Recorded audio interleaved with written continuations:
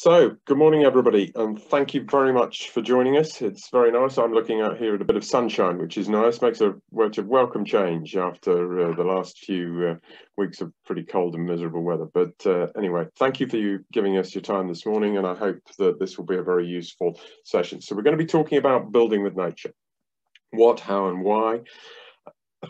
And I'm delighted to be joined by Dr. Gemma Jerome and Richard Heath, who are going to be able to take us through the session. Next slide, please, Richard.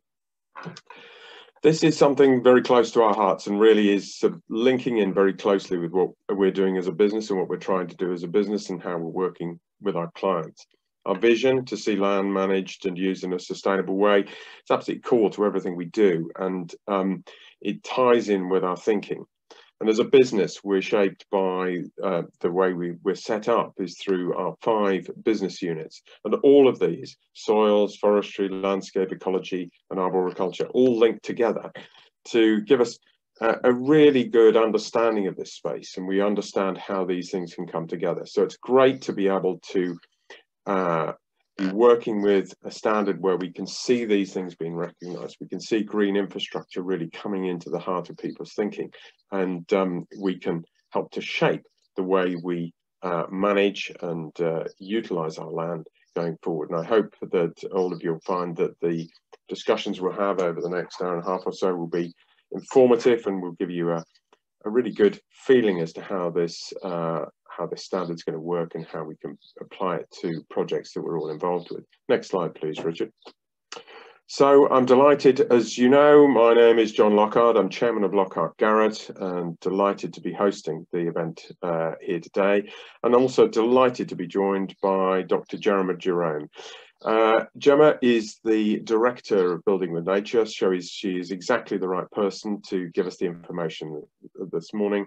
She's been working um, uh, her background is a planner and she's been working in this sector, working with the stakeholders, with industry and so on over the last six years to develop a standard that will um, be usable and workable in, in the space that we're all now involved with.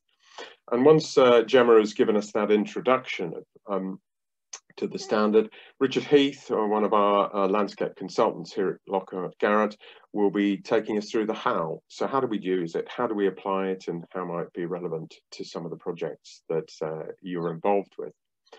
Um, so uh, that's how we're going to run the session and there will be plenty of time at the end of the session for questions and discussions. So please, as we go through the session, do feed questions in as, uh, as you think of them and we'll pick those up. And also uh, after the session, if we haven't been able to pick up on all of the questions, we'll try and make sure that we come back to people and um, answer those as best we best we can.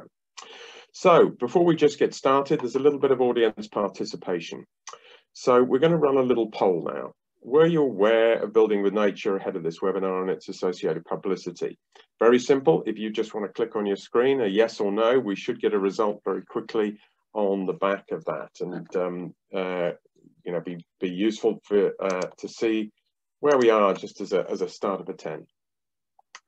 So Vicky, if people can uh, apply to that poll, and then when we've got a little bit of a result, Vicky will close that and we should be able to see it on the screen. Right, okay, so 64% were, 36% not. So a really, um, uh, you know, good understanding of where we stand at, at this uh, at this point. So now delighted to hand over to Gemma, who's going to set the standard for green infrastructure and give us an understanding of what building nature, is, building with nature is about. So Gemma, really looking forward to what to hear what you've got to say. Thank you. I'm just going to get my slides full screen for you all and we should be good to go. Excellent. Thanks so much for the introduction there, John. And it's really great to be here. Good morning, everyone. Um, thank you for joining us.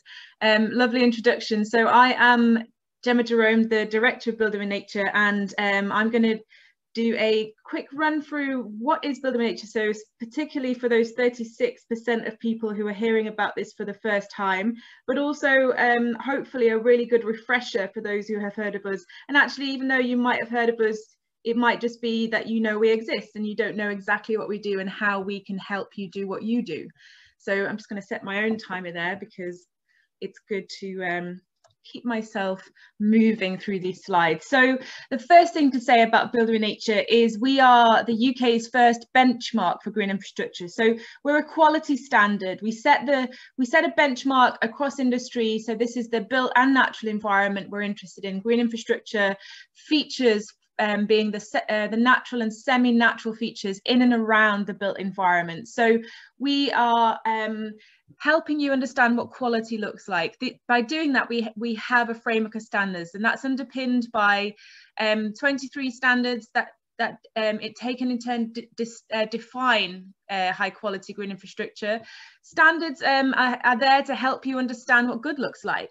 So we do that by assisting directly with industry partners um, via assessors like Richard. We can help you bring forward a great master plan, but we also work directly with local authorities. So making sure that the planning authorities that applications are coming forward in also understand what good, good looks like. And then we can have a really good joint decision making process and deliver great places for people and wildlife. So that's what Building Nature is all about we're able to say that we are the national benchmark for high quality green infrastructure because we have all of these partners on board with us. So I'll, I'll, I'll, let you look through those logos there, but you can see that we're comprised of a mixture of professional bodies, leading experts in green infrastructure and representatives from both industry and government. So that means we're always keeping the, the, the baseline of quality moving upwards, but also making sure it's really realistic that we can actually support industry to meet this standard. We're about raising the baseline rather than just awarding the exemplars. And these bodies here really help us make sure that we stay in line with um, new policy, new legislation, and also industry good practice the key thing to understand about Builder in Nature is it's all about quality. We do have other methodologies and assessment systems out there which focus on the what. They focus on metric-based systems, they help you tick boxes, and that's fine, but Builder in Nature is different. We're interested in the how. How do you deliver quality? So we've created a set of standards and we also have a user guide which you can access through an approved assessor like Richard at Lockhart Garratt. And that helps you then to draw from that evidence and good practice guidance. We've pulled it all together in, into one place so you don't have to. A one-stop shop for understanding, well, green infrastructure, it's about ecology, yes. It's about landscape, yes. It's also about arboriculture. It's also about engineering. It's also about sustainable drainage and how that all works within a development and that might be a residential led development it might be a commercial development a community infrastructure development. So we wanted something that could work across all of those types and scales of development and also critically through the whole life cycle of green infrastructure. So at each stage of the development and planning process, so whether that's at the RIBA stage zero, when you're just deciding what, what you want realistically to fit on that site, how you're responding to the landscape character, how you're getting that density in, all the way through to implementation, making sure all of your contractors are on board in terms of the quality you want and the quality that's actually built into that planning approval. And then as we have found time and time again, the real critical stage of how you keep those green infrastructure features high quality into the long term. So that management and maintenance period as well. These standards help you with all of that. The message of this slide is we're doing it. We launched these standards in 2018, and since then we've been working in partnership with industry and, and, planners to deliver schemes. So over 50 schemes are using the Builder in Nature standards and new schemes coming online all the time.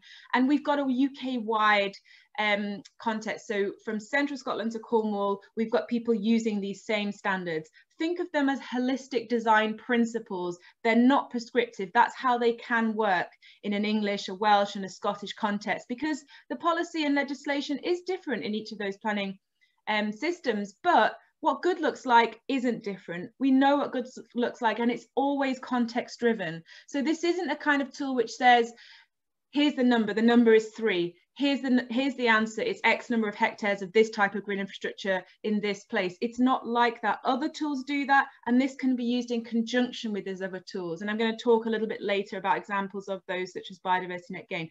But the key thing here is that quality is always about context. And that's what Building in Nature is all about. So how can high quality green infrastructure help to deliver better development? A couple of slides here just to make sure we're all on the same page. What we're interested in here is placemaking, which is much wider than one particular discipline. So this isn't, it's called Build with Nature, yes, but it doesn't mean it's a just an ecology tool. This is about people and wildlife. And one of the biggest challenges that people face right now is the climate emergency. So Builder in Nature can help you make good on your commitments to address the climate emergency, whether that's through mitigation, so including features which can help with really tricky problems, for example, urban cooling or sequestration of carbon, what features do you use to do that? Well, it depends on the, on the place you're working, but we can give you guidance on that. So that's about reducing carbon. Then we've got adaptation, which is about responding to existing carbon in the atmosphere and how that's affecting the climate. You know, as John said at the beginning, we've had really miserable weather. Sometimes that feels seasonal sometimes actually it feels quite chaotic and that's what we're going to be facing more and more with climate change so green infrastructure can absolutely be your best friend as a design tool in your palette, making sure you can actually create places which are safe for people. So one example of that, which is really tangible, is making sure that your primary approach to flood resilience is through sustainable drainage above ground, soft green features that can help hold water in the landscape and actually then bring you other benefits for amenity, for biodiversity. You can see that on this lovely image here of a development in the southwest. We also have um, a focus on climate positive behaviours. How do you want people to enjoy living in the developments that you bring forward? So one use of green infrastructure is making sure that people um, actually make that modal shift. So if we want people to cycle and walk instead of drive for some of their journeys, then make sure you've got safe, green, convenient routes and green infrastructure again can be one of your best design approaches to do that the other aspect of this is that we are also facing an ecological emergency. What does that mean in terms of how we build in green infrastructure? It's making sure we retain, create more of, and enhance for nature. So the simple way of saying that is make space for nature. We've got more and more legislation drivers around this. So we have the introduction through the Environment Bill of nature recovery networks, local nature recovery networks, and then local nature recovery strategies of how we actually do that. So when you're bringing forward a development, have a look what's happening in your area, in your district or in the in the sub-region. What are the drivers for change? How can we actually underpin those nature recovery networks by including more and better and better connected green infrastructure through your developments and also out into the wider environment. And that's how we make biodiversity gains. So yes, there's a, a, a very specific methodology about how we accredit schemes of biodiversity net gain, but what we're talking about in builder and nature terms is making um, making those gains through quality delivery of, of green infrastructure.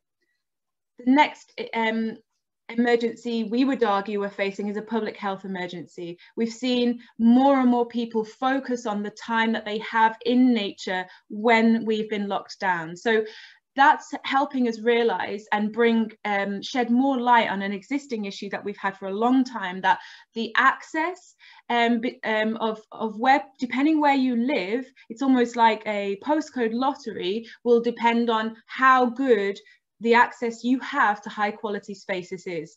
And yet all of the evidence shows that you we will be able to support better outcomes for people, health and well-being outcomes, if we have access to high quality green space and natural green space. So what we're talking about here in Builder in Nature is making equitable access and making inclusive spaces that encourage everybody to use and enjoy green infrastructure. So um, it's a it's it's a key part of building in Nature, our approach to, to GI from the point of view of the existing and new communities we're building for. And then finally, if we can build places people want to live, we're actually contributing to the economy as well. We've got a big narrative at the moment in terms of how do we build back better, build back greener, and how green infrastructure is a key part of that. So valuing our nature-based solutions and thinking of this as a place-making approach okay, how are we going to do all of that? We do that with our standards. So the Builder in Nature standards are are essential ingredients for high quality placemaking. And we do that through a set of thematic standards and essentially think of these as the key ingredients.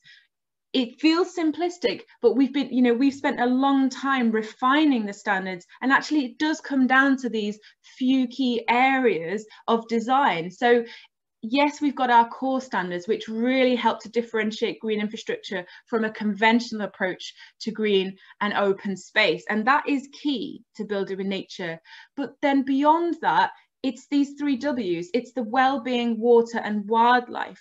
And thinking of your green infrastructure as making nature work harder and smarter for you. So we're going to talk a little bit about multifunctionality, for example, but it's it, it this helps to push back on some of those arguments of, well, we can't deliver a viable scheme if we have to deliver all of this green space as well as all of this built um, uh, as well as all of these houses or employment units. Well, actually, for if you're if you're really understanding what green infrastructure is, you can do that with less space for um, for green infrastructure. It's about quality, not quantity. So that's a really important part of building nature, working within the, um, yes, the constraints of the site, but actually maximizing the opportunities and seeing green infrastructure as an asset.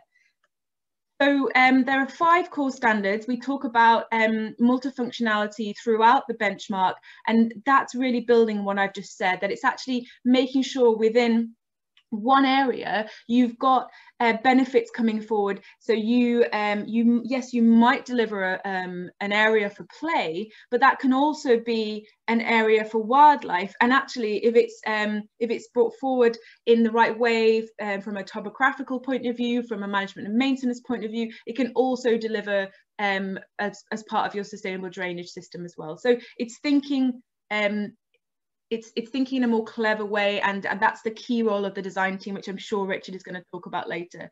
We talk about the importance of local character and starting with what's good and building up from that. So we get more of um, we get more green infrastructure that is actually creating a sense of place and building on what's really high quality about a place already or creating a high quality place which is building on the the assets of the local environment we make sure that you are responding to the wider context. So thinking about what's important, yes, from a planning point of view, but how do we nudge it up beyond compliance? So how do we think about, for example, if your local authority has declared a climate emergency, they'll be looking for ways to make good on that um, for, the, for all of their community stakeholders, for their elected members to be able to tell a story as to what they're doing. And actually, we as planning applicants can, can help them make good on that by saying, well, actually, the way we're approaching development here, instead of always objecting to development, let's see development as a positive where we can actually contribute against some of those targets making sure that the scheme itself is is um, making good on those commitments to deliver environmental quality and for the features themselves to be resilient to climate change. So for example, making sure the species that we select will be able to withstand different temperatures and different amounts of rainfall. And that's the kind of future that we need to need to be thinking about now. And then, um, as I've said a number of times today, it's making it easier for you to, to decide the best management and maintenance uh, strategy for a particular scheme and that will depend on the scale and the type of development but it's really critical that we build that into our design in the first place because we want these features to, to, to outlive um, our investment in that scheme so people can continue to enjoy the benefits of them long into the future. We've got a set of wellbeing standards. I'm just going to summarize some of the key uh, drivers behind these standards. We're talking about accessibility, we're talking about inclusivity, and also about place distinctiveness and, and how actually that helps people to thrive and feel a sense of belonging. The water standards, yes, they're about quantity and quality, so very much in line with the CIRIA SUDS manual and what that and what's driving good practice for sustainable drainage. But it's also about making um, more of the water in the landscape. So rather than seeing it as an engineering issue that needs to be modelled and, and just kind of seen as a, as a constraint on a site, actually having water on your site can be the absolute asset in what makes that place a great place to live or work. Um, and so it, it's it's making the most of the amenity and biodiversity, biodiversity benefit of water. And then finally, the wildlife standards. We're we're we're thinking here about those principles which were were were put really front and center almost 10 years ago now with the Lawton report, more, bigger, better, and more joined up. So we're helping you make good on those commitments. And we're seeing those commitments reinstated through all of the new environmental legislation coming through. Um, but we need to also make sure that any biodiversity measures that uh, we put into development are actually relevant to what we're wanting to to to deliver in that area because of what makes sense in that area. So we're talking here about locally relevant and also features that contribute to a wider than ecological network.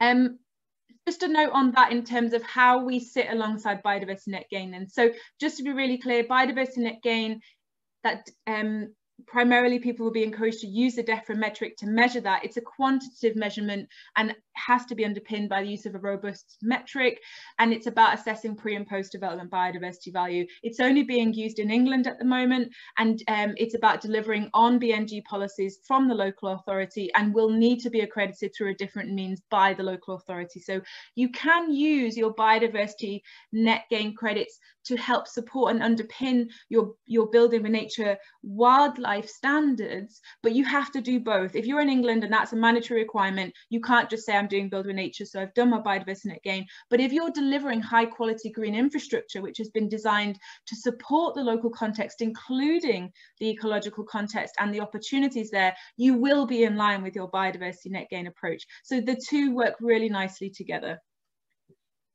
Okay, so the end point of, of actually applying those standards formally is that you can pursue Building with Nature accreditation. And the end point of that, if you're successful, is an award. So we have a set of awards. We have the Design Award for um, an outline master planning process and then the full award which is the real focus of building with nature because the full award includes a post-construction check. So once your phase or full development is completed we come back and we assess based on what you said you were going to do whether that has been delivered. And that provides so much reassurance to some really key stakeholders. Obviously the local authority are interested in that including the elected members but also communities. And then for you as the developer it's about saying, we now can tell this story that we, it's not just us saying this is a good scheme. We have an external verification which says this is good and this is good um, according to a national benchmark, experts in green infrastructure.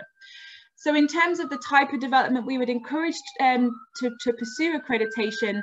As I've said a couple of times, this isn't just residential-led development, mixed development, commercial, community infrastructure, absolutely encourage applications, and we have examples across our portfolio of those. It is primarily for major schemes upwards. So in English planning terms, that's 10 units or more. Um, so we do have examples of those smaller schemes. It's also for um, for larger schemes. Um, so we have five scales across the Building with Nature um, accreditation system, and I'm happy to take any questions people have about the nuts and bolts. But the key thing to understand here is that we have an award for you. So it's a really good way of being able to reassure a whole set of stakeholders about the quality of your of your design. And then the, the, the end point of the Building with Nature accreditation process is this fantastic national award, which is now being delivered as part of the Landscape Institute Awards, where we then can spotlight what good looks like on the ground. So you are only eligible for a national award once you've had your post-construction sign off and we can really make the most of pointing others in industry to be able to look at your scheme and go, this is what we mean by building with nature. So that's the accreditation system and the journey itself, just a little graphic here to show you, ideally you are moving through the stages. So not every scheme has an outline stage. So yes, you might skip the design award, but we do see some schemes where they still see the value of that because they, you know, they really want to to show um, the planning office officers, for example, that they're on track to, to really embed these principles into their design. But then you'd be moving on to a full award, and then, as I said, you, you, know, the national award is the is the final stage. And just a little bit of understanding there that there's different um, applicants at each stage. Um, but again, happy to take questions about the details of that later. Here's a summary slide then as to what we found the benefits of a builder and nature approach to be.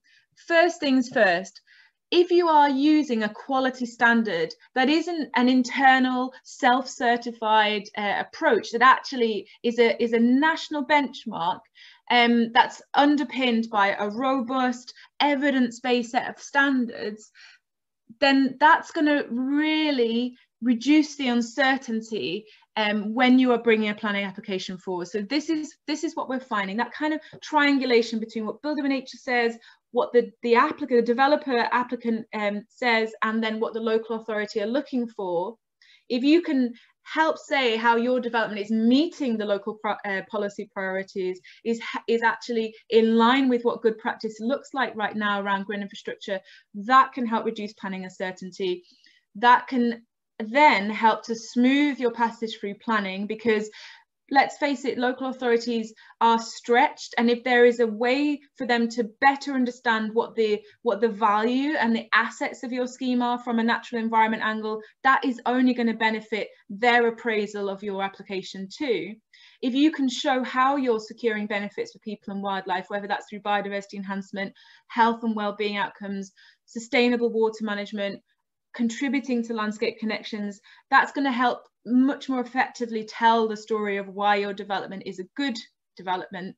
And then in turn, what can help us um, what helps us help you is to work with an approved assessor who is then an integral part of your design team offering very practical ideas of how you can address the climate health and ecological emergencies what does that actually look like in terms of how the development should be different, how to design it differently, what features to include, what to foreground, what to background, what process, at what points would be good to really have that quality check.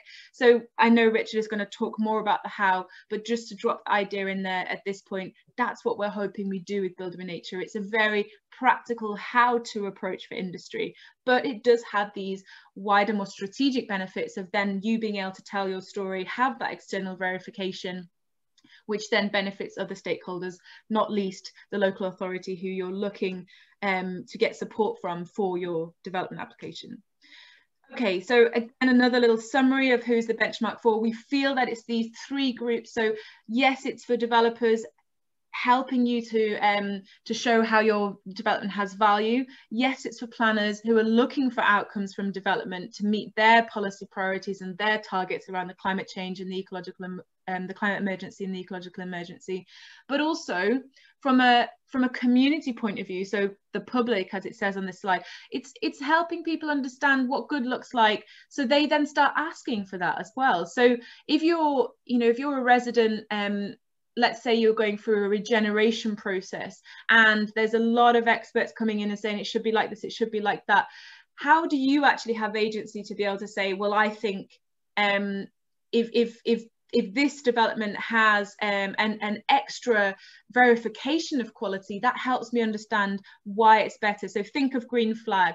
Most people see the green flag flying in their local park. They don't know what that means in terms of what are the criteria of quality to get a green flag award, but they know it means their park is good and they should feel proud of that. So we hope that Builder in Nature starts to have that same traction, that same um, brand recognition and quality assurance for communities that they then start to understand well this scheme is is is doing more than just delivering houses. It's delivering homes it's delivering places and it's delivering a kind of a way of life a lifestyle which means i have more access to the outdoors to nature. Um, and we know that is a growing trend um, especially accelerated by um, by our experience of of being locked down. Um, Okay. We're going to have just a couple of minutes looking at a case study um, and I'm just conscious of time. I just think I'll be about five minutes more. Um, so this is an interesting case study because um, it's a regeneration project and the opportunities for inclusion of green infrastructure um, were, were really, really high, but the site itself was very constrained. So we use this case study um, quite often to show that how compared to some of the misconceptions about green infrastructure, this isn't about getting 40%, 50% green infrastructure, or should I say 40%, 50% land take, Um, and that's what we mean by a green infrastructure approach. Actually, it's about the right features in the right place, really designed, and then a commitment to managing and maintaining those features to bring benefits to the people who live there and also to add in new opportunities for wildlife. And also, when we say people, every community is different. Every um, community has their own needs and strengths. So there's a really interesting story to tell here um, about that as well. So Barne Barton is a, an existing estate in Plymouth. This is an image from the estate. Um, you can see the quality of the built environment is very poor. There's a real need for, um, for these buildings to be replaced. So we are talking here about a demolition and rebuild. Um, there's certainly, we're, we're beyond cosmetic um, improvements here. We, we, we have an existing community who've been here for um, uh, it's an established community. So some people who live here have been here for generations. So yes, although we're coming in as built in natural environment professionals and saying there's a lot that needs to change here, there's also a really critical understanding that that needs to be done sensitively and it needs to be done in a way that brings the community on board um, and, and, and doesn't lose the trust of that community. So strictly from um, a, um, a planning um, and development opportunity point of view, you can see on this um, this aerial image here, here that that you can just about see the faint red line of the of this is one phase of uh, um, of regeneration of a wider um, plan for regeneration over the whole um, of over the whole area, but it's one neighbourhood within that, and its proximity to some existing green infrastructure. So the black is wood here to the east of the site, um, there's a real opportunity there to get some linkages across. One of the key characteristics of the site is it's a very steep-sided slope. Um, so you can see the levels and drainage diagram there, and you can see it on this slide as well. So I would say from a green infrastructure point of view, we don't actually have green infrastructure here. We have green space, we have open space, but it's very monofunctional. It's, it's really the leftover space between the buildings. So if we were if we were approaching this um, this scheme with a green infrastructure ambition, we'd be saying, how do we make this um, how do we make this space that people want to use people can use? Because let's face it these kinds of slopes mean a lot of the residents especially those who are less mobile less active won't be able to use these spaces. And and you know our experience is that um, in terms of observing and and watching how people use these spaces they're just they're just a, a, location for the buildings. People are not sitting and gathering and playing um, in, in a, a, very active way through these spaces. So lots of constraints on the site, but then that means lots of opportunities. From an ecology and um, and uh, uh, um, from an ecology point of view and, and, and, biodiversity point of view, again, a real lack of nature here, lots of amenity grassland, very tightly mown on a strict uh, rotation, just to make sure people feel that it's being managed, but actually it's not being managed in an interesting way. Um, and there is lots of opportunity for improvement from a green infrastructure point of view. So the developer here is Clarion Homes, social housing provider. These units will all be replaced, but um, will continue to be um, partly social housing, but also they're introducing some um, market um, units as well. And we um, we're looking at it's about around the 204 um, um, unit density here. So Here's um, some slides now to show the thinking from the design team about how they're starting to then see the site through the lens of Building with Nature. And that's how the standards can really work for you, that you, you think of the standards layering up. So well-being, water, wildlife, that has to happen throughout the scheme. But if we just take well-being to start with, let's have a, you know, let's think about how we're actually introducing more permeability on the site, introducing areas where you can stop and sit a while and, in, and enjoy the tranquility of the site. Oh, that's telling me to hurry up. Um, making sure that people actually um, everybody has spaces that they can um, enjoy being outside and be active or as I say um, be be still so it's it's the variety of spaces and um, uh, that make um, the well-being opportunities really come to life. And then from a water point of view, very um, constrained site in terms of the levels. So a big challenge was to actually um, be able to hold some of that water on site and really make the most of that. So rain gardens was a, was a really key approach here, but also thinking about permeable paving and other sustainable drainage features, which then can contribute to a more um, sustainable approach to uh, water on site and then wildlife thinking about those connectivity um, um, routes across the site in the way you would for people. How are you then helping wildlife move across the site? But also how you introducing features which allow people to get closer to nature whether that's through integral features like bird and bat boxes or whether it's about using the opportunity for street planting as a way to improve your species selection so you're also then bringing benefits um, from a wildlife point of view um, so here we go, a nice image there of um, this site has been um, given planning permission. We're waiting for that scheme to start on site. It has a Building Nature Design Award and it also um, was a recipient of a Landscape Institute Award. So really interesting site for people to look at. Happy to take any questions about how that's replicable in your context or how, how you would be looking at different issues. Um, okay, last slide from me then, and then I'll be really happy to pass over to Richard, just to let people know that we are um, having a few key moments this year where we have um, I've got my colleague Sandra Tuck on board with me today who is going to be here to help me answer questions um, from you all later. Um, and Sandra is our head of accreditation has been and standards and has been working with me to, to really um, look at the standards after three years of using them and make sure they're still in line with uh, policy legislation and good practice because let's face it, there is so much happening in this area at the moment, not just biodiversity net gain, but so much focus on the climate and um, the environment. So that's a big part of what we do. We make sure our standards still represent quality so you can then just refer out to us. So um, we, we, we're having um, a really exciting launch in a few weeks of our new standards. We've, we've reduced our standards to 12, um, which is, they're still very robust. They still represent high quality all of the content from the first set of standards is still there, but it just makes it easier to use for people. And there's more focus on how do we address climate change and secure long-term management maintenance. And the last thing I just wanted to say is some of you on the call may know about the Natural England work. They're creating green infrastructure principles and also a green infrastructure guide in response to the National Model Design Code. And we're working closely with them. So I can reassure you that if you use the Building with Nature standards, you will be working in line with those emergent national approaches, which are also voluntary, but which are designed to help you bring forward good development. So the, the most frustrating thing for industry would be if we're all doing different things, but we're all working closely together and we're all here to make places that are better for people and wildlife.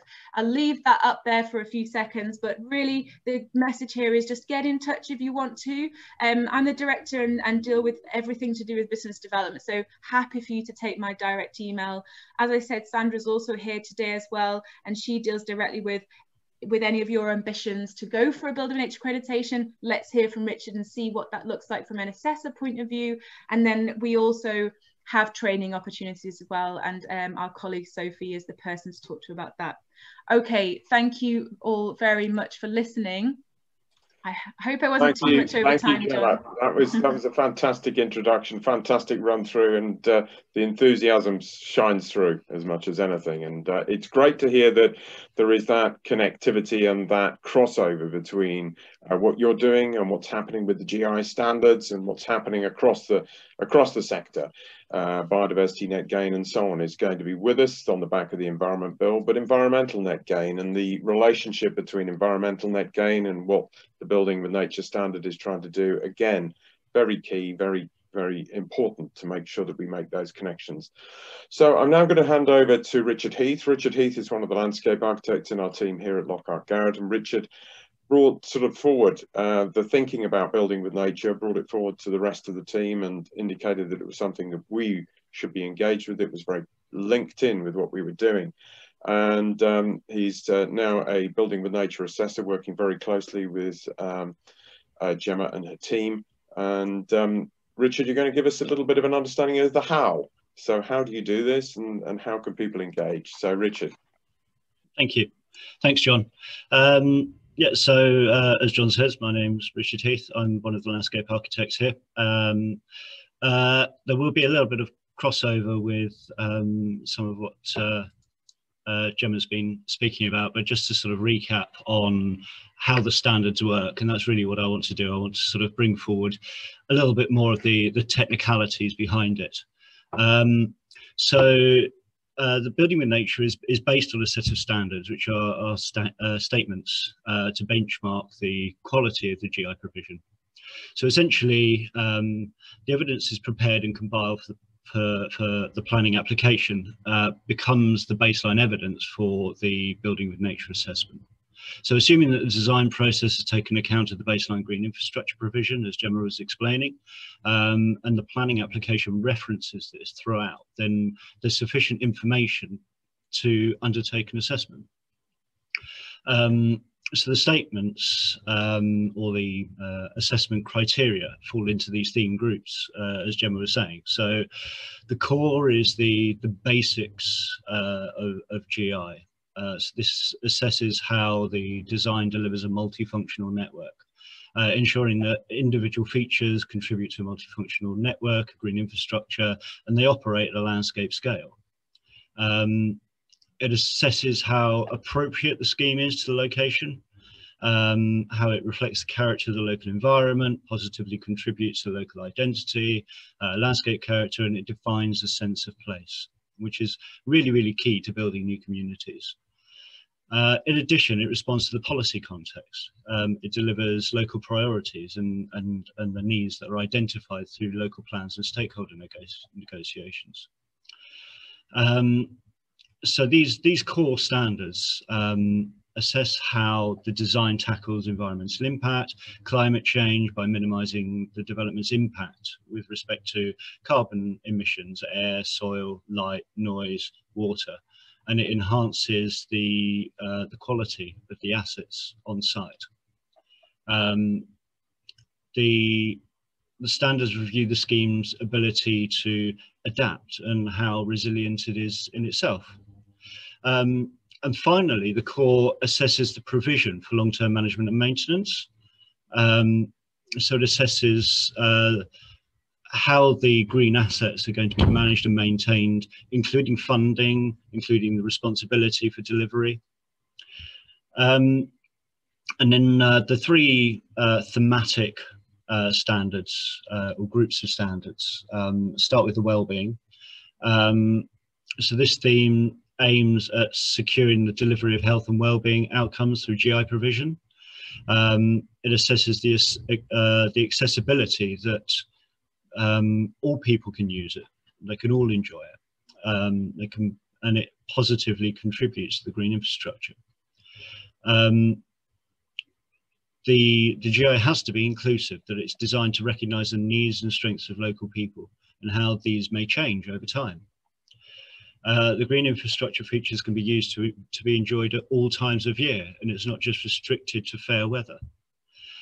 Uh, it assists how the design considers measures to reduce health inequalities, um, particularly key health inequalities that are uh, recognised at a local scale. Um, green infrastructure should be designed and located to reduce and prevent health inequalities, both in new and existing communities. Um, the GI should be socially sustainable. In other words, the green infrastructure creates a social cohesion and inclusion to improve the community well-being um, and increase increase this social sustainability. Um, and it looks at how distinctive the scheme is and how it contributes to a sense of belonging and pride and a sense of place in the neighbourhood. Uh, the water standards look at uh, the management of the site's water resources at all scales. And as Gemma was saying, it's about quantity, it's about quality, uh, and it's about um, integration. It's about how the GI network is integrated with the SUDS to enhance the benefits for people and nature. So it's, it's not just about dealing with the quality and the quantity, it's about how it's done. It looks at resilience, at how a diversity of GI features enhance water quality through more and better treatment stages, maximizing the resilience and the efficiency of pollution reduction. Um, again, tying back to the core standards, we look at the water management feature, how the water management features are used to create a locally distinctive sense of place. Uh, and wildlife, um, this is about reconnecting the natural landscape. Um, it's about the Lawton approach of bigger, better, more joined up. Um, it's about how over time um, GI can contribute to to increasing the and reversing the decline of of, um, of biodiversity. Um, it looks at the relevance of the biodiversity provision to its location and that the, the GI punches and, and flows through the built environment. Uh, and finally, it assesses how sensitive a scheme is and that opportunities to protect and enhance biodiversity are taken during planning and construction of the new development. So these 23 standards um, are essentially split out. So um, the, the core standards, uh, uh, number five, um, which deal, as I said, with the, the multifunctionality of, uh, of the green infrastructure. Your three thematic standards are, are divided into six uh, statements or, or, or, standards in themselves. Um, and it's this that um, is is this these statements that we use to assess the development. Uh, so I want to talk about a working case study uh, to demonstrate the building with nature in context. Um, unfortunately, this is not as advanced as the uh, the um, scheme that Gemma was talking about. Uh, this project hasn't been submitted for planning yet, so there's a lot of information I can't share with you. Uh, what I can say is that the scheme is registered with Building with Nature. The client has signed a pledge to work towards the accreditation. Uh, and this in itself is a useful tool to have in the pocket moving towards the pre-app discussions. And I'll explain why in a moment.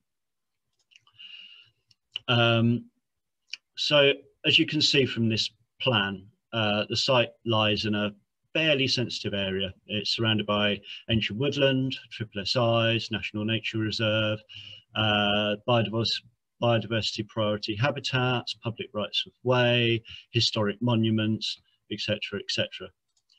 Um, it also lies right in the path of an identified green infrastructure corridor. Um, so this proposed development is the second stage of a staycation park. Now the first is completed and open to the public 11 years after it was conceived, which gives you some indication of the level of scrutiny and consultation that it went through before it was consented. Now, much of this was due to lengthy stakeholder discussions, which might have gone much smoother if we'd have been able to demonstrate from the outset that we're committed to improving the GI provision, say with a pledge towards working towards a um, nationally recognised green infrastructure standard. Um, when you list all of the challenges related to this development, uh, it almost looks like a non-starter. And I think many developers would hesitate to commit to a site that is this sensitive. Um, but we have an optimistic project team. Uh, we can we can see that there's strong opportunities to use the development of the scheme to reinforce the green infrastructure network, uh, deliver key benefits, and of course, the building with nature standards are the benchmark that we are using to ensure that this will happen. Um, um, because we're entering the design stage with this positive glass half full mindset, we're able to view the constraints as opportunities. And this is really, really important with green infrastructure and with, build, with the building with nature standard. The single fixed point in this design was this desire to have a facilities building that's front and center as you arrive at the site by vehicle from the north. Um, this location was notionally fixed um, and then we surveyed the trees. When we started looking at the um, at the site in building with nature uh, in building with nature context, um, using the building with nature assessment um, component parts, um, we were able to to look at these these thematic standards at a at a uh, at a site level. Um, so the baseline relating to well-being is limited to a single point uh, public right of way. Um, now clearly design will need to respect this, but how can the existing baseline be improved to respond to the key messages captured within the building and nature standards? Um, so those are shown in list format here. So accessibility, inclusivity, seasonal enjoyment, health inequalities, etc. Um, now, we decided that limiting changes to the view from outside of the site was important. Greening up the uh, greening up the corridor would not only protect the recreational amenity of the users, users um, but it would also help to strengthen the security of the site, bearing in mind that this is uh, an area that's being rented out for, uh, for by, by guests. Um, uh, so there's also an opportunity to provide a node of interest along the way, which could be uh, a picnic spot or equipped play area, a green gym perhaps. Uh, but this is looking only one way through a window. Uh, the, the other consideration is the welfare of the users of the site. Now, obviously, uh, this would be a very this would be very different if we were talking about new residents on a housing scheme or employees on a commercial site. As this is a holiday destination set in rural countryside, you could say that the whole principle of the development is to deliver well-being GI. Um, the single argument against this is that it's not inclusive because it's not free. Looking at the water standards then, um, again, there's quite a limited baseline. There's no standing water or flowing water apart from a single flowing ditch along the uh, uh, along the boundary. Um, generally, the site slopes north to south uh, with a ditch at the bottom. Building with nature principles are pretty, uh, are pretty simple. Quantity, quality, multifunctionality, resilience, distinctiveness.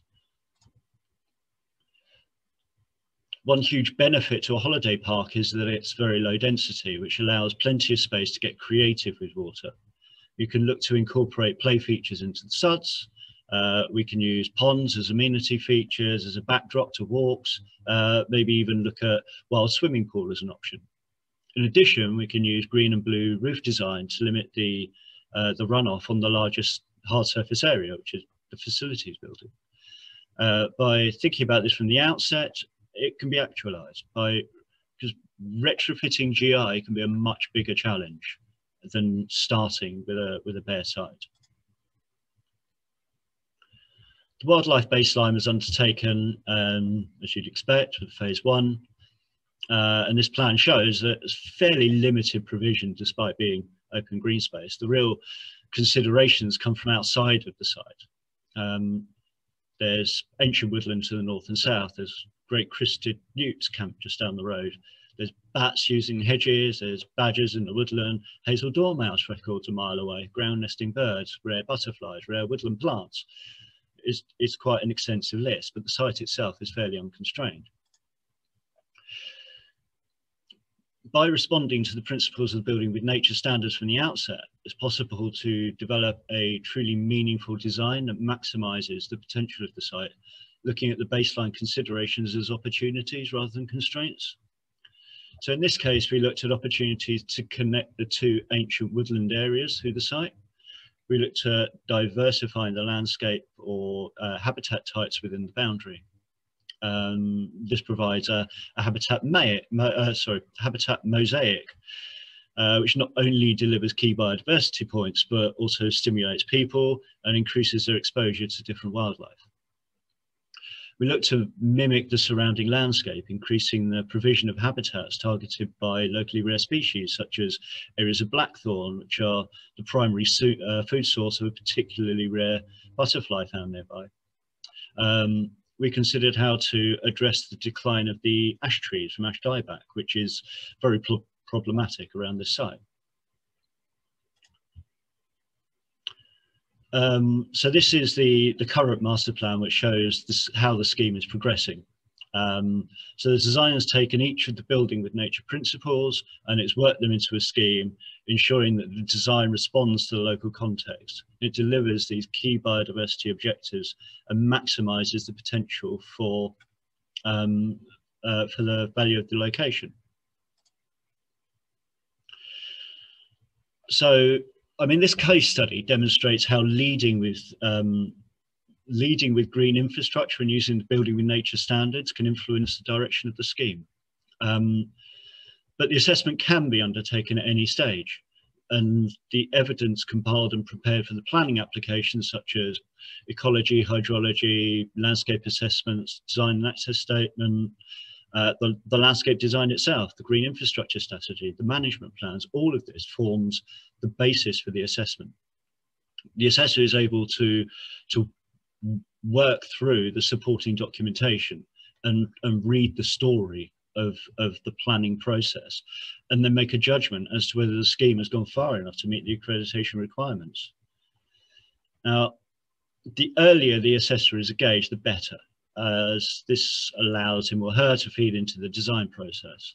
If the scheme isn't quite there, uh, the assessor can make uh, suggestions that can help get it across the line. That being said, we've recently been engaged to look at a scheme retrospectively and provide a summary on how the scheme would have fared had it been put for building with nature. Um, this reflective view, um, this will help the client understand where they are and where they need to go uh, and what they need to do in future schemes to ensure that the developments are doing all they can towards delivering green infrastructure. Um, so thank you for your time. Um, I'm going to hand back to John now. Um, but before I do, we've got a, a quick poll uh, to drop up.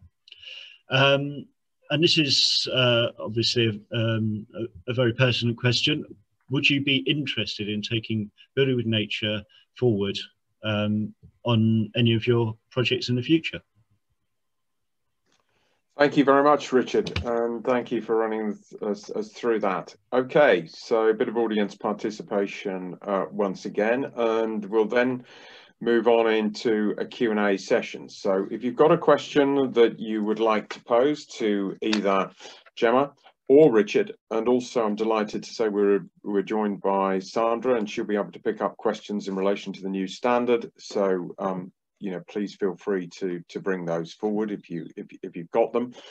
And um, what we want to do is uh, either you can put those questions into the Q&A um, uh, feature at the bottom of the uh, Zoom page, or alternatively, uh, if you want to raise your hand, uh, your virtual hand, um, then we'll uh, unmute you and bring you in and you can ask your question to the panel in person. So Let's see how we're getting on with the, the poll. Vicky, do you want to sort of pop the results up when that comes through? Okay, so we've got a good um, a good proportion of the the thing, 73% there, keen to uh, uh, see it, and no no's, which is fantastic. So, um, right, uh, Richard, if you want to um, stop sharing your screen, I think that will take us back to the panel view, and uh, hopefully you can see uh, those of us that have been speaking and um, we'll be able to, to, to pick it up. So um, I've not got any questions in the question and answer box at the moment. So um, please, if you've got a, if your hand is up, then um, just let me know or put a, put a note in the chat. But um, I want to start the ball rolling really. I mean, one of the things that um, I'm hearing a lot about at the moment and was put forward on the back of the um, sort of consultation around the 25 year plan and then subsequently the consultation that led to biodiversity net gain being embedded in the environment bill. Um, is, the, is the question of environmental net gain, that wider um, scope, which obviously is going to fall into the building with nature standard. But there's an awful lot of um, talk around this area at the moment as to how this should be measured and how it should be quantified. Um, local authorities thinking about standards, you know, and, and, and mechanisms to actually put some numbers to it or some some actual values to it. Just wondered um, if you've got any thoughts as to how that you see that coming forward and how you see that sort of meshing in with the building with nature standard, because obviously the two hopefully, if you've followed the pathway the Building with Nature is trying to take you down, you should be meeting those environmental net gain standards and some, I would think. Yeah, absolutely. Thanks, John, for your question. And um, it's really nice to hear that most people would consider using Building with Nature. I'm still glowing after that poll. Thank you. Um, okay, so yeah, it's a really it's a really key distinction actually, um, and I'm really glad you brought this up, John, because I think Building with Nature has always had environmental net gain at the core of what we're trying to do, and I mean, we we started developing a um, set of standards and a benchmark for green infrastructure way before um, the um, Environment Bill and the 25 year environment plan was brought forward and biodiversity net gain as a key mechanism coming out of that and you know we absolutely recognize the need for biodiversity gains as a core issue. I mean just we, i didn't mention this but Building with Nature um, actually came out of a wildlife trust. So this this tool was developed in partnership with the wildlife trust and the university of west of england. So clearly biodiversity is important but i think just focusing on that very discrete issue misses so many opportunities to deliver for the wider environment to deliver for people. So i'm glad that you framed that as a as a as a commitment to environmental net gain john and and just to reassure reassure people that that as a concept which is more encompassing and more holistic. And actually i think more naturally in line with how sustainable development and the built environment professions who who have always um, been committed to delivering more than just units and houses they have already been working in this way whether that's the materiality of the structures themselves or the processes or, you know sustainable construction is is also at the heart of Building with Nature. Um i think so i think it's a, a natural evolution to have a standard which um supports and encourages built environment professionals to do what they've always done but to just have a, a little bit more understanding about the specifics for the areas around the building. So that's the focus of Building with Nature. But green infrastructure can support environmental net gain. And we actually do have um, in the new set of standards, we, we really hone in on that and we have a standard which we've actually um, we've actually framed as a standard which is about maximizing environmental net gains through green infrastructure. Um, and I don't know if Sandra wanted to say anything more specific about that, um, but it, it, might be a nice uh, a nice read across if you wanted to say anything about that, Sandra, or just add to what I've said um, from a kind of standards and accreditation point of view uh, in your capacity, just to bring you in. Yes, I mean, uh, like Gemma says, we've thanks Gemma. Um, we've we have reduced the standards down. We haven't lost any of what was in the previous standards. They're still very robust, and they're kind of continuing to raise the bar. So we have reworded our standards, and we but we have placed a, a really strong em emphasis on environment environmental net gains as being you know one of the core standards. We've got six core standards. It's one of the core standards. Great. Well, we've got some questions starting to feed in, so I'm going to start the ball rolling now. And uh, we've got a very interesting question from Simon Hargreaves. Thank you, Simon. So, what are the costs involved with building with nature, and can it be used for temporary developments such as quarries. So um, interesting um, one there. So uh, I'm going to give you that to, to, you in the first instance, Gemma. Yeah, yeah. Thank you. Um, thank you for your question, Simon. Um, let's get straight to the brass tacks why not? It's a uh, it's certainly a, a good place uh, to start in terms of thinking whether this is this is achievable and um, and proportionate to to the type of development you're working with. So we have a fee structure which is accessible via an approved assessor. So um, I'll leave that kind of circulation um, for your uh, relationship with with Lockhart Garratt and and Richard as an approved assessor. But just to give a flavor because that is important and I know other comparable assessment systems like BREEAM, for example, BREEAM Community specifically as a master planning tool can prove to be very expensive to be frank. So um, and it's because they're they're designed to work um, um, primarily a much more strategic scale. So those very large um, new developments might follow that um, follow that approach.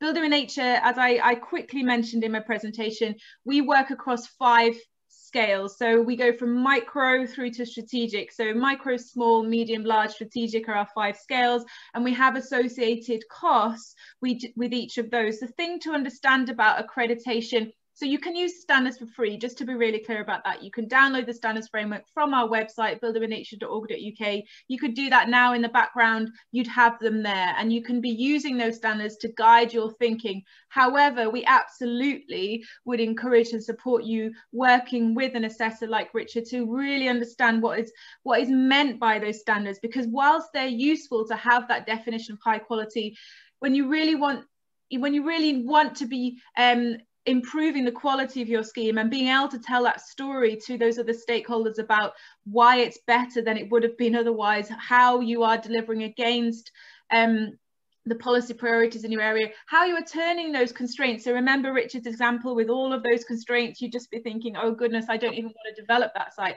How you've turned those into assets and opportunities to make the development better um, you have to work with an approved assessors to do that and the approved assessors have the technical user guide. But um, in terms of what working with an approved assessor costs, we don't set the fee for the approved assessor. Accreditation is two stages, assessment and audit. So to work with an assessor, that's a contract between you and the assessor directly and you would decide with them. They would, they would instruct you, uh, guide you as to how many days the scale of your development would take on an assessment. But there is a fixed fee for audit. So the two stages are assessment and audit.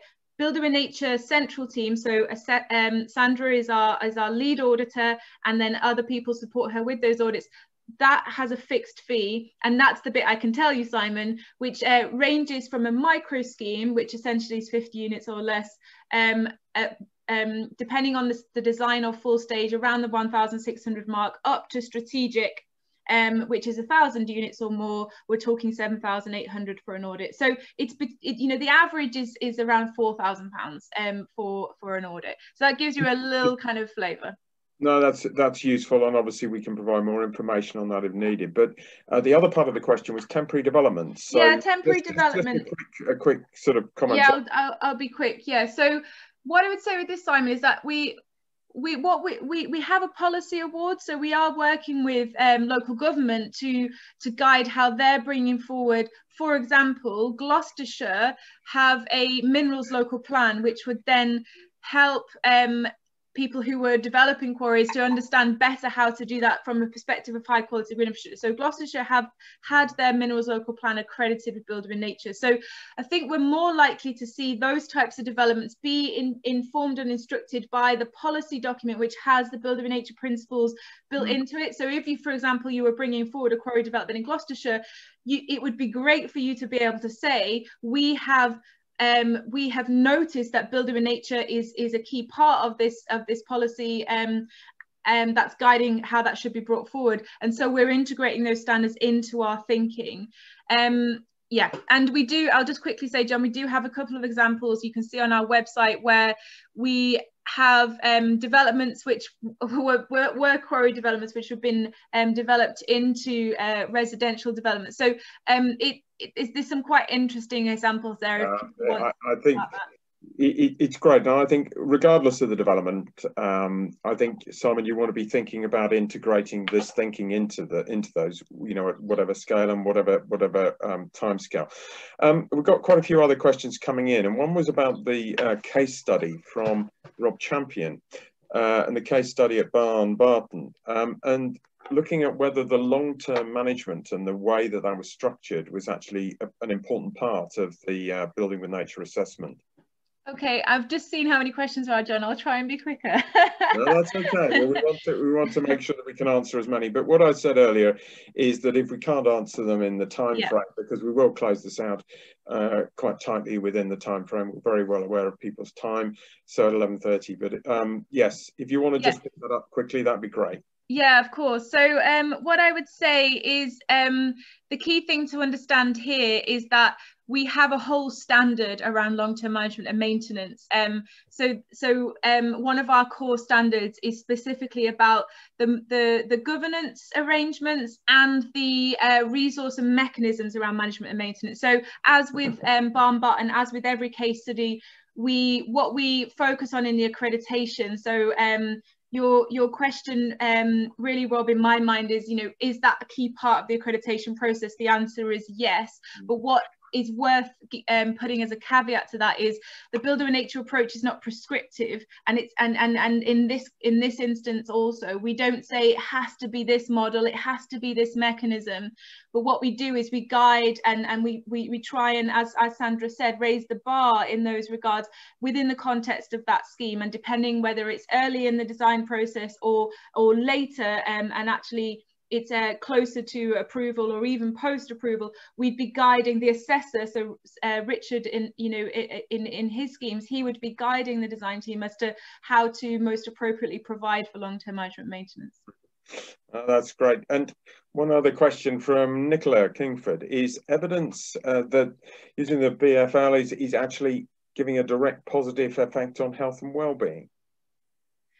Um that's a key okay. part of your standard isn't it really yeah so absolutely integral um to to um is it sorry am i looking at nicola's question? Any evidence that using building for life is that um yeah building for life building for a healthy life has a direct positive effect on um in, interesting question nicola. Um I'm working with Homes England at the moment to to trial the use of Building with Nature alongside Building for a Healthy Life on a number of developments. So I think that's quite a live area of research. I mean, we certainly um, did an extensive literature review when we developed Building with Nature, and we know the health, the, the well-being standards really reflect what um, what makes a difference in terms of, of, of contributing well-being. And we also have some examples where our standards are being used and we have a post-construction check in place and some of the post-occupancy survey results have shown that having access to high quality green infrastructure has indeed improved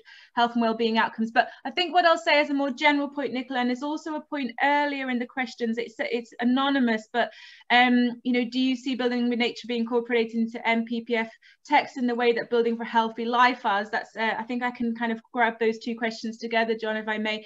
But um, we, um, we absolutely, um, we, we, we absolutely understand that building with nature is a process standard.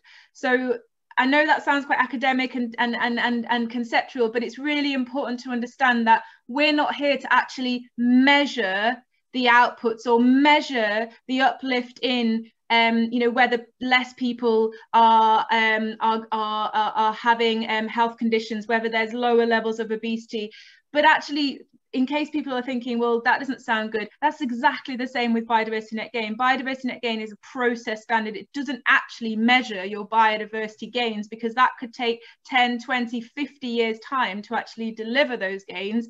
But what it does, the same way that Building with Nature does, is it is it evaluates the process and the quality of actions you are taking to, to, to make it more likely that those outcomes will be delivered.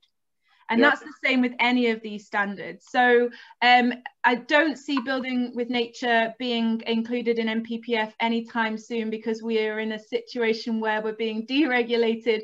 But as a voluntary mechanism, we are all already referenced in the National Design Guide. So that's yeah. the MHCLG official document, um, and we're also going to be referenced in the GI Guide that MHCLG and Natural England are producing. So that's as good as it gets for voluntary standards, I'm afraid. Absolutely, and with the new planning policy, I think we're going to see these things becoming much more to the fore, aren't we? Design is going to be right at the key of everything, and the GI standards and the way that this this all ties together is going to be absolutely key.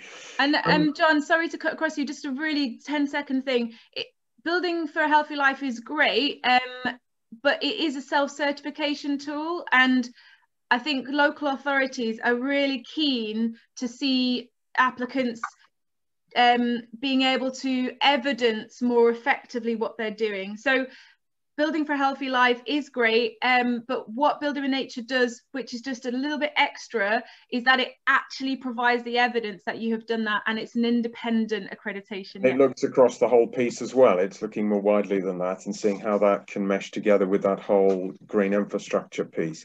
Um, we've got a question from another attendee there about the green space in the urban centres. The population where new build maybe isn't happening um, can building with nature be applied to green spaces that might be of low quality? In addition, should we value green space for, for sport as a massive driver and how do football pitches, for example, fit into, how do sports facilities fit into this? I'm going to defer to Sandra and Richard now. I think they could both answer that better than me. So gonna... well, uh, who wants to have a go first? Richard, do you want to have a go first then?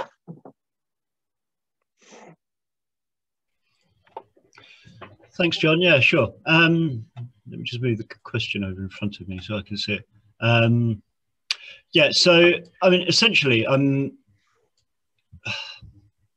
so the sports facilities provide uh, provide a function within green infrastructure. Um, now, as we talked before, um, building with nature looks at multifunctionality. So it's not just about one thing or another, but um, it, it, makes it very difficult. If you have a sports pitch that is just a sports pitch, it would make it very difficult um, to uh, to assess that under building with nature as as meeting all of the criteria because it wouldn't. But if it was integrated into a landscape that provided um, that provided other features as well and was part of a network that provided that space for nature and for the natural processes that we were talking about earlier, then then yes, um, the it, it, it, forms part of a multifunctional network, and that's really, really key to building with nature. It's that multifunctionality that, that's key. Sandra, anything from your side to add to that? Um, yes, just to say that often, you know, sports pitch is probably a good example where it might be in a sensitive landscape, and actually you will have to consider biodiversity. So, you know, something like the lighting, where you put the lighting and how it relates to any sort of dark buffers and things like that, actually I can really see that in certain circumstances you might really want to use the BWN approach for something like a sports field. I mean, obviously BWN cannot be applied to absolutely every type of development um, in, in the sense that you may not be able to deliver a whole range of different um, benefits, but even if your main focus is sport, there's still potential for biodiversity enhancements within the site and connecting to biodiversity enhancements elsewhere. And, and there may, may even be opportunities for linking with public footpaths and things. So it, it, can help you address community resistance, which there often is, even to things like sports facilities, especially if there's floodlighting involved and traffic and so on. But it also might help you um, tackle the, the sort of wider ecological constraints that you have around the site. Yeah, it might be. It might might allow you again. It's this fitting in. It's this connectivity. It's this context. Um, we've got a couple of questions that sort of link together really about the assessment process and who might be involved and how that how that works. And I'm I sort of probably it'd be good, Richard, to get your thoughts on that in the first instance, and then obviously uh, Gemma, if you've got anything that you want to pick up on, please do. Sorry, Richard, you, you're still muted. Yeah, you're off mute now. No, I'm not. Sorry, I'm pushing the button too many times. My apologies. um, yes, so uh, the, the, question is about um, whether building with nature is predominantly a landscape discipline or whether other disciplines uh, can become assessors. Um, and the answer is yes. Um, so uh, I know of ecologists that are um, building with nature assessors, um, and I was having a very interesting conversation the other day with a drainage engineer uh, who's going for uh, for his assessment training uh, very soon. Um, so the so the answer is yes. Um, now, uh, in terms of uh, what is required in terms of qualifications and experience, um, I know that uh, the the uh, assessors are encouraged to be chartered, um, a member of a chartered institute. Um, but uh, yeah, I mean, this is actually from one of our consultants, so uh, we can certainly have a yeah. uh, a chat yeah. offline. Um, uh, Gemma, any, yeah, yeah.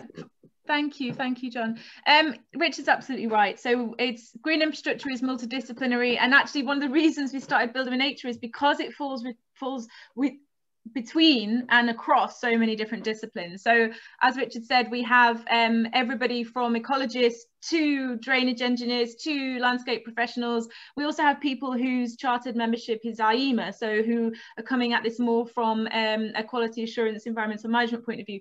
Um, yeah, we, we do encourage approved assessors um, to be able to demonstrate their commitment to continuing professional development. So that's why it's a handy um, shorthand way of us doing that by asking um, that you are committed to the professional um, quality assurance of your own discipline, but we will consider um, applications from others, but it's subject to a conversation with myself. Um, the um, the, the other thing I just uh, wanted to flag from the last question is that when I read the question again, it talks about can building nature used on existing green spaces? And I think that's just the that was just a slight nuance I wanted to pick up on that actually it's an important point being made that a lot of what we talked about today is is is development new development and um, whether that's um, kind of greenfield brownfield or you know and regeneration that's all a new application coming through the planning system. When it comes to how we actually ameliorate the quality of existing green spaces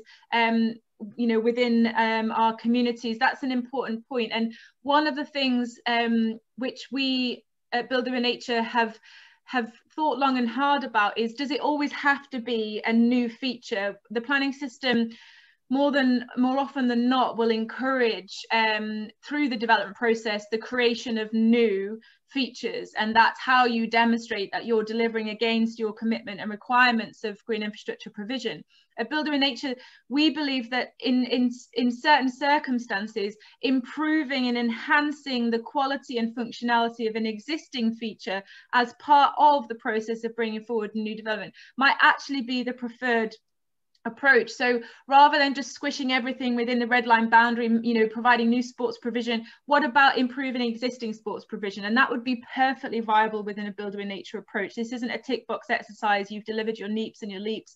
The planning process does that. You know, we're not a proxy for, for the planning system. And from a Building with Nature high quality green infrastructure approach, it might be preferable, for example, to provide a safe, green, convenient route from a development to the existing sports pitch and then improve that existing sports pitch. And that's how you get your, your kind of use and access um, um, met. So just make that point, John.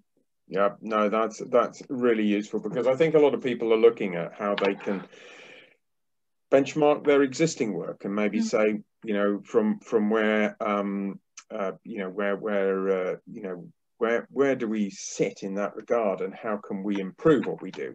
Are we already there? Are we do we need to take a completely different approach? So i think you know thinking along those lines is is very good. I mean we talked a little bit about the way that the standard uh, you know interfaces with um, the biodiversity uh, offsetting.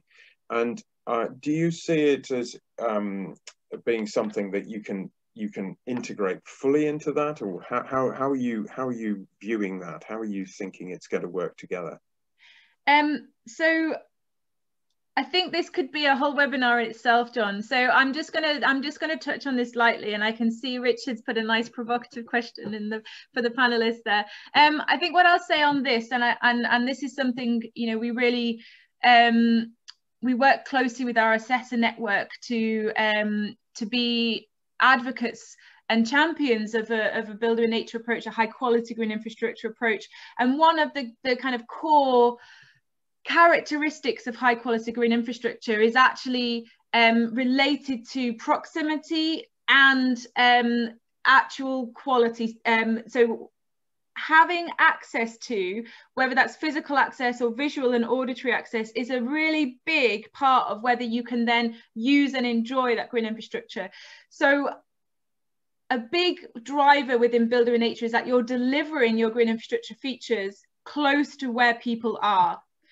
And yeah, you're actually bringing proximity, isn't it? And yeah, it's like bring, bringing nature to onto the doorstep yeah yeah. So i would say that whilst biodiversity offsetting um you know that's a big kind of vehicle in motion at the moment and it's important to have spaces away from people if they're if, you know if the focus of of of, of what that land um use is is strictly ecological and ecological um biodiversity gains for example.